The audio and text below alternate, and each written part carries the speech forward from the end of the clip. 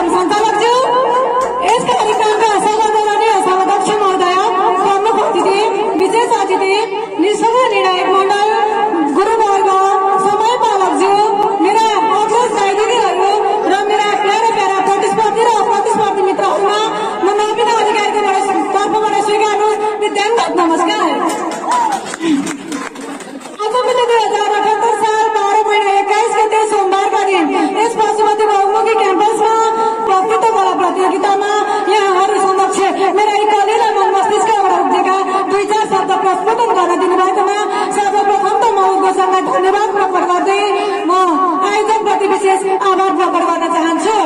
र अब ढिला नगरिकन मेरो विषयवस्तुतर्फ लम्पने अनुमति चाहन्छु सभाध्यक्ष महोदय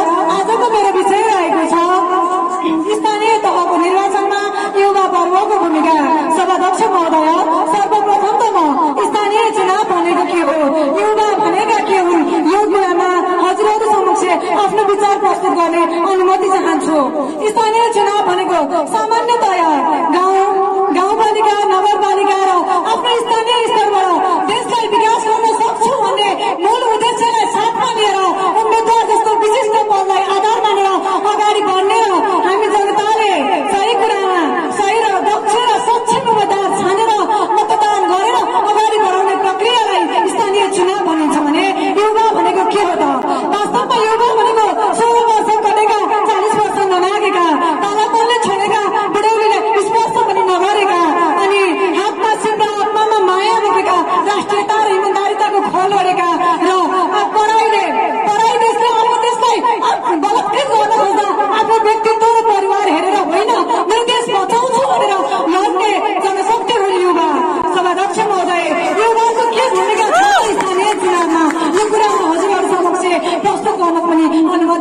स्थानीय चुनावमा युवाको के भूमिका छ हेर्नुहोस् यो स्थानीय चुनावमा युवाको सक्रिय भूमिका छ त्यही युवा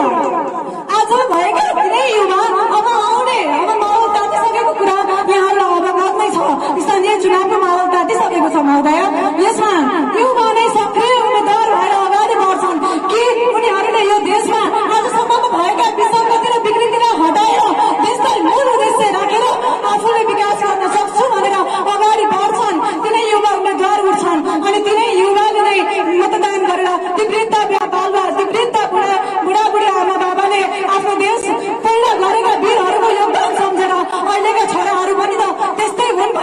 सच्चा मनले आफूलाई उम्मेद्वार लिएर हिँडेपछि के?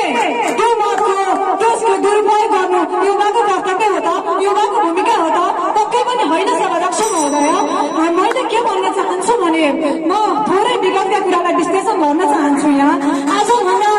आजभन्दा पाँच वर्ष अगाडि चुनाव भएको थियो। मेरो गाउँमा सभाध्यक्ष महोदय म युवाकै भूमिकामा अलिकति यो कुरा विश्लेषण गर्दैछु। किनभने पाँच वर्ष अगाडि मेरो गाउँ- मेरो ठाउँबाट पनि युवा नेता नै उठ्नु